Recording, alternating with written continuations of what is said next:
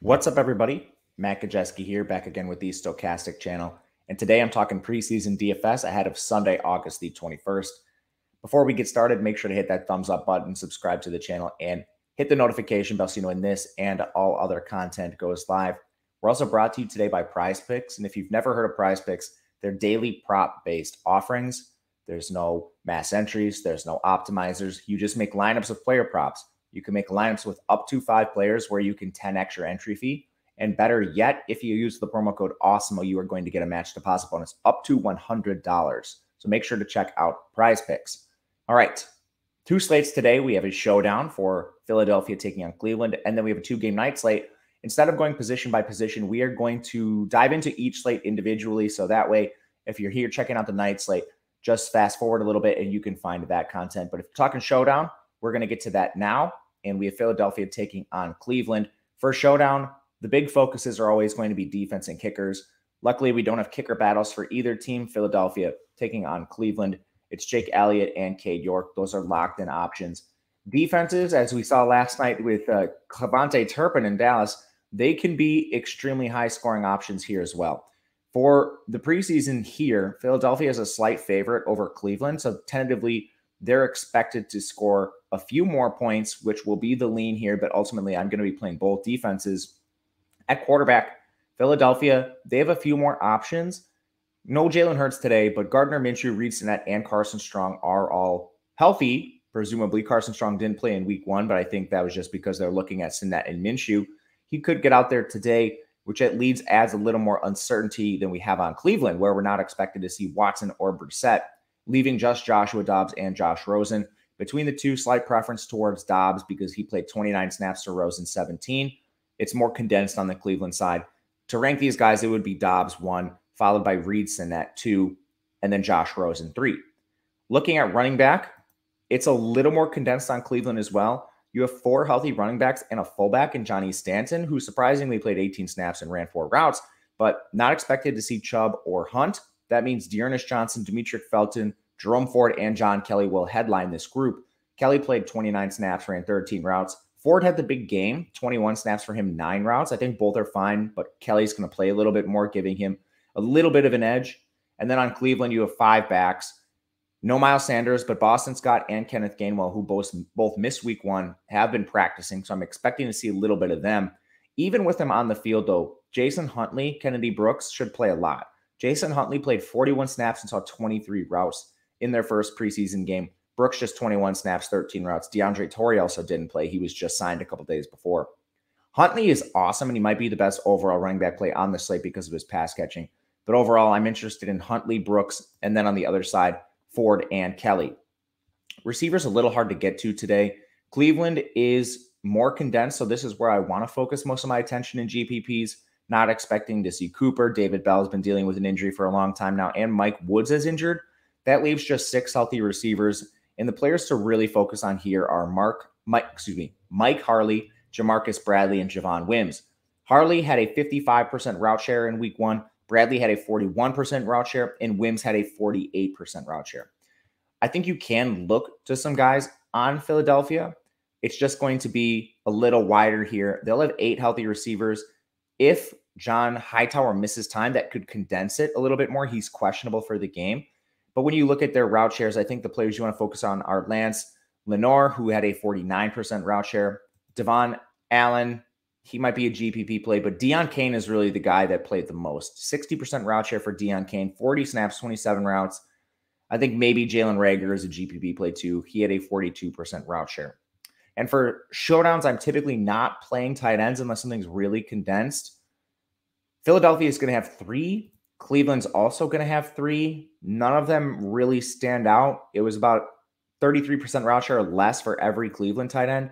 And the same is exact is exactly true for Philadelphia. Noah Togiai, 33% route share. No one was higher than that. So not really getting to those players. But I think that's enough for showdown. Let's get to the two gamer at night where we have Cincinnati, New York, Baltimore, and Arizona.